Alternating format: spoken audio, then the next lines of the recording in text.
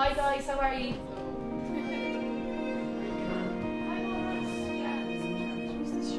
These are for the choir ladies and there, uh, there's about 47 of them.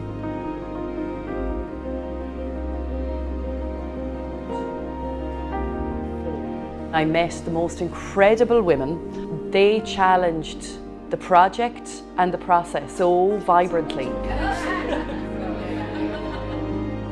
You've been very intrepid in trying out new forms. Persona poems are incredibly difficult to master. You've tackled them head on and I'm just so proud of you. So we had a diverse mix of women from all walks of life and backgrounds. It kind of culminated in us uh, researching a number of women from 1923 and writing in their voices or writing a poem addressed to them. We had been tasked with the idea of responding to women from 1923. We based some of our banners designs originally on their designs from back in 1923, but we adapted them, of course, into more modern and contemporary aesthetic. This is very kind of, I suppose, focused work on the musicality of the, the piece that I've written, um, which really honours the history of these women and I suppose honours where we are now 100 years later. So we're not just making this, these series of banners about women from 100 years ago, but we are honouring them and celebrating them, but we're also including a lot of contemporary women. Their power uh, as a group, as a sisterhood, is really remarkable. It's an amazing story. What we discovered was that uh, uh, uh many, many women have been uh, completely sidelined or trivialised or written out of history, out of mainstream history, and effectively silenced.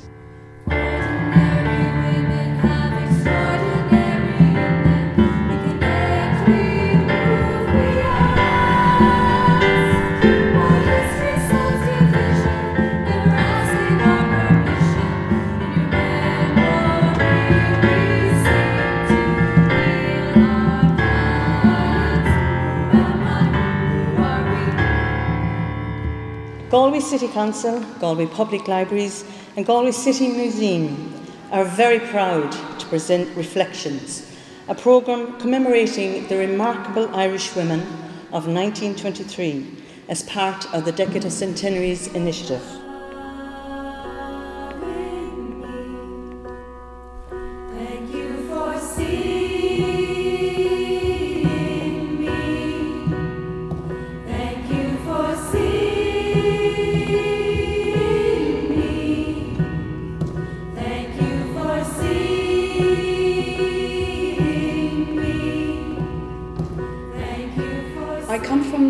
Flapping on clotheslines, from women who smoked with neighbours over back garden walls.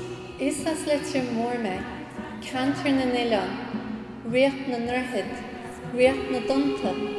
It wasn't my shame, it was in no hero's name that Crown Forces took liberties with me. You commanded City Hall. Your presence shocked the British military. Invasion, famine, poverty caused you to rise up with your faith as a shield. I decked my hair with detonators. I had as much right to die for Ireland as any man. I dream of a nation where Ireland can be one, free from all British control. What did you think of your husband's two nieces, Kathy and Lena, learning to shoot? Did you adjust their leather belts tilt their Cumann na mBan felt berries to a jaunty angle. In the workshops, we spoke a lot about how history has pitted women against each other and how, in response, women connect with each other. We mobilise to heal our trauma and to fight for justice. Tonight, we remember the tinted trappings of your fight we honour the rich, courageous lives of Irish women 100 years ago, and we promise we have not forgotten you.